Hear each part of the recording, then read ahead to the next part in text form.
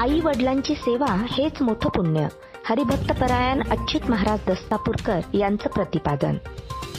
सेलूत काल्याच्या कीर्तनाने रामकथेची सांगता. प्रत्येकानं नवीन वर्षाचा कुठला ना कुठला संकल्प केलेला असतो. सर्वात मोठा संकल्प असतो तो म्हणजे आई वडिलांची सेवा. आई वडिलांची सेवा हे सर्वात मोठे पुण्य आहे असं सांगून आई वडिलांची सेवा करावी असं प्रतिपादन हरिभक्त परायण अच्युत महाराज दस्तापूरकर यांनी केलं. शहरातील नगर परिषद स्टेडियम इथं भव्य तुलसी संगीत रामायण कथा या कार्यक्रमाचं आयोजन उद्योजक आर बी घोडके यांच्या वतीनं करण्यात आलं. उद्योजक आर बी घोडके यांच्या वतीने घेण्यात आलेल्या या कार्यक्रमाला एक जानेवारी रोजी भव्य काल्याचे कीर्तन नगरभोजन आणि संतपूजन या कार्यक्रमामध्ये याचं आयोजन करण्यात आलं होतं.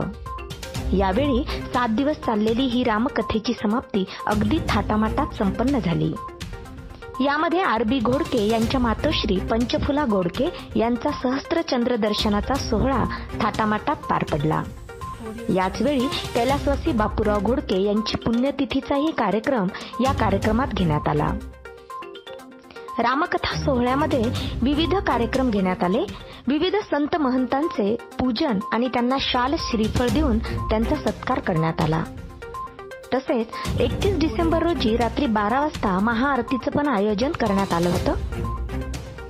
खासदार संजय जाधव साहेब आमदार मेघना बोर्डीकरताई आर बी घोडके भगवानराव घोडके जिल्हा परिषद अर्थ आणि बांधकाम सभापती अशोक काकडे सुनील गायकवाड रघुनाथ बागल विष्णू बागल गणेश कदम हरिभक्तपरायण Radhakishan Maharaj Hissikar doctor Kailas Awate engineer Rajendra Ghodke Ashok Ghodke doctor Ravindra Ghodke तसेच शहरातील प्रतिष्ठित व्यापारी नागरिक पत्रकार आणि महिला आदींची उपस्थिती लक्षणीय होती.